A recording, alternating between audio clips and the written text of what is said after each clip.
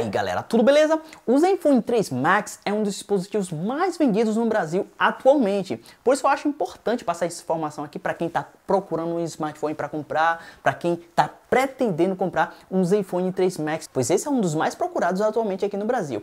Então eu recebi uma dica, um alerta do próprio vendedor de uma loja da Fast, eu não vou dizer onde é, mas eu tenho um vídeo que ele gravou. Neste vídeo ele mostra o defeito que está acontecendo em várias unidades de alguns lotes de fabricação do Zenfone 3 Max, a versão de 5.5 polegadas. Então vou passar o vídeo para você ficar sabendo também o que, é que está acontecendo e já já a gente comenta sobre isso. 1, 2, 3, 4, 5, 6, 7, 8, 9, 10, 10, 11, 12, 13, 14.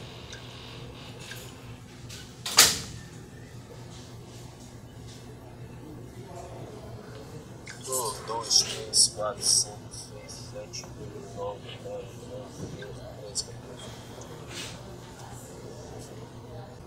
Um, dois, três, quatro, cinco, seis, sete, oito, nove, Tá vendo aí o volume, ele no final ele começa a baixar sozinho. Isso acontece na reprodução de áudio, ele fica baixo e no WhatsApp fica saindo ruídos. Bom pessoal, tá aí a prova em vídeo, eu tive conversando com o vendedor que me passou as informações, me passou todos os detalhes sobre esses defeitos e como você viu no vídeo, após fazer uma gravação de voz, você vai reproduzir, o áudio ficar oscilando, né? não ficar na altura bacana, ficar baixando, uma coisa bem estranha.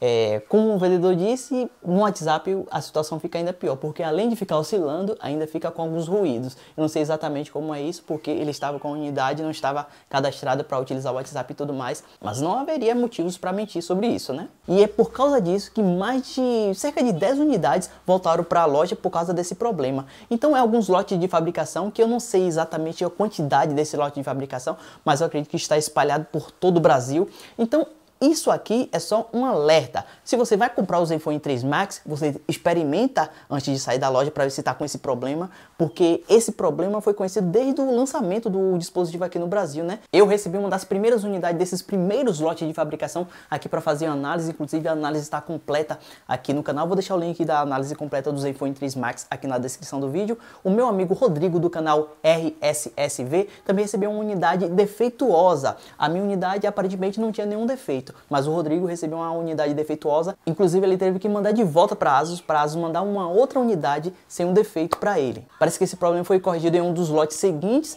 mas agora está voltando de novo em um outro lote de fabricação. Então fica esse alerta aqui, se você está pretendendo comprar o Zenfone 3 Max, que é um dos mais procurados aqui no Brasil, eu sei que você provavelmente caiu no vídeo aqui porque estava pesquisando algo sobre o aparelho, então fica esse alerta. Se você vai comprar, experimenta na loja antes de sair. Se você vai comprar online, tenha cautela e faça perguntas ao vendedor. Pergunte se alguém, se algum comprador devolveu a unidade por causa desses defeitos. Faça várias perguntas antes de adquirir, antes de comprar o dispositivo, porque a gente não sabe em que lote de fabricação esses problemas serão completamente resolvidos.